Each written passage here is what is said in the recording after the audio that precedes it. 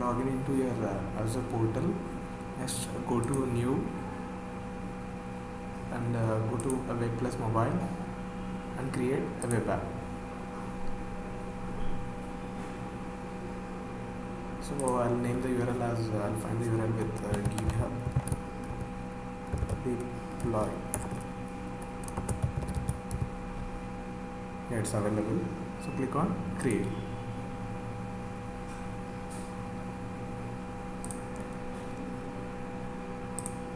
so now the deployment has been succeeded. Okay now github. Is to be published on azure. So i already have a project in uh, github that is i'll just sign in into it.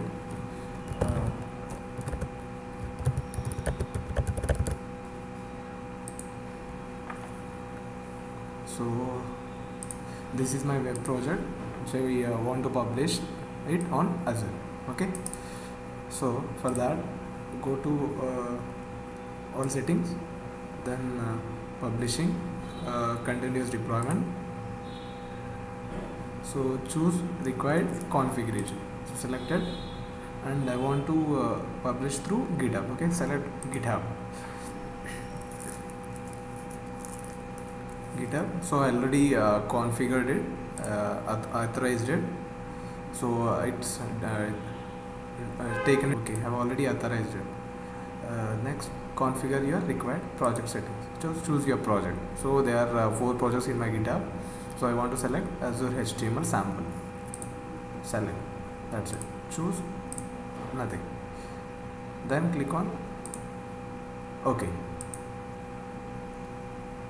So setting up continuous deployment. So the files which are uh, there on github will be copied into this cloud so I'll do uh, what I do is I'll just uh, sync it again. So sync. Synchronize source control yes.